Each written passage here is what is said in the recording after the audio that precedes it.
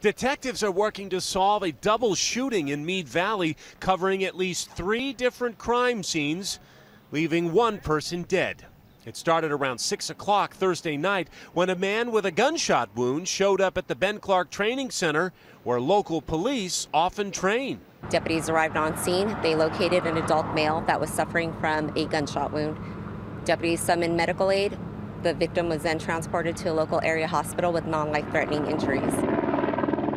Information he gave detectives led them to a home about three miles away in Mead Valley. There, they found nearly two dozen roosters, an unpermitted greenhouse, and according to neighbors, a small marijuana grow. But that's not all. They located a deceased adult male inside the residence.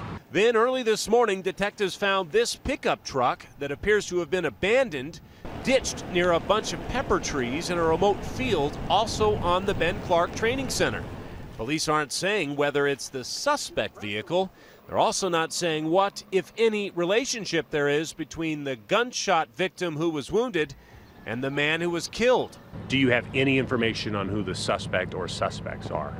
At this point, investigators aren't releasing any further information, but we can say that there is no threat to public safety at this point. Anyone with information is asked to call the Riverside County Sheriff's Department. Hello, I'm Mark Brown. Click the ABC7 logo to subscribe to our Eyewitness News YouTube channel.